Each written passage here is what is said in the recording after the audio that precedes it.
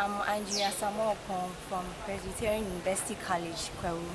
I am going to my third year.